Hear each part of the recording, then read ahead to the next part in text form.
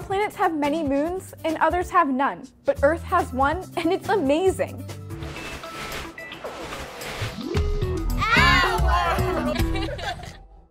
The moon is the brightest object in the sky after the sun, and it plays a big role in patterns we see here on Earth.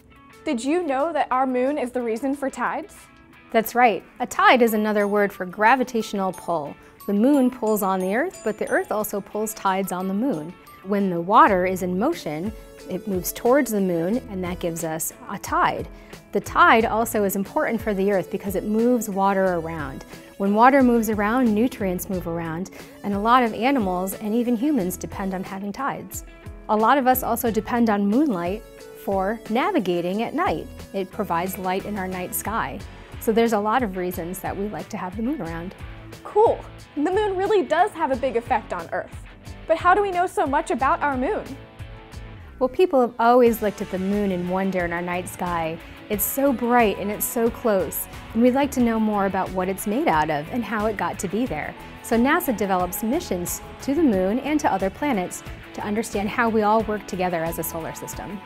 NASA has been sending missions to the moon since the 1960s, starting with robotic missions and building to human missions. We sent humans to the moon with the Apollo missions to pick up rocks to bring back to the Earth and to learn about the moon's environment.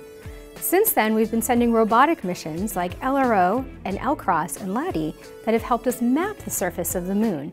We have maps that show us the surface features, the craters and the lava flows. We have maps of temperature. We have maps of the gravity of the moon. And all of those things help us understand what the moon is made out of. It turns out the moon is not dry. It has water on it, actually, but the water is frozen. The water is frozen at the North and South Pole in deep craters that are permanently shadowed.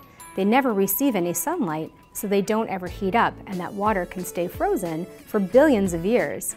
We hope someday to be able to go to that water and extract it and use it to live on the moon. Even though we know a lot about the moon, there's still so much more we want to learn. We'd like to be able to send landers there and rovers just like we do for Mars. So as long as we have questions about the moon, NASA will keep planning missions to answer those questions. Because the moon is pretty important to our world. I'm Ashay. I'll see you next time.